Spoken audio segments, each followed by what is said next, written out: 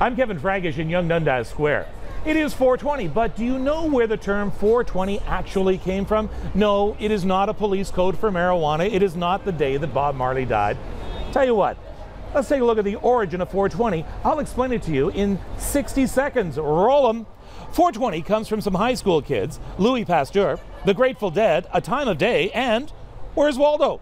In the early 70s, a group of students at San Rafael High, no pun intended, formed, a, let's call it a social club, to meet up and smoke up.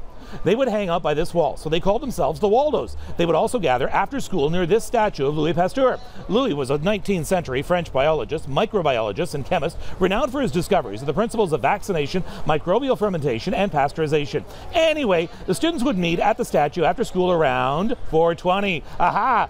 So they would say to each other in the hallway, Louis 420? In other words, code for meet at the statue after school to spark up some doobies. Soon they shortened it to just 420. As coincidence would have it, at the same time, the Grateful Dead moved out of San Francisco and into, yes, San Rafael, California. The Waldos hung out at the rehearsals and met other Deadheads who adopted the term 420, and before long, the term 420 was no longer just code, it is, as you say, history. And there you go, the lesson of 420 and its origin.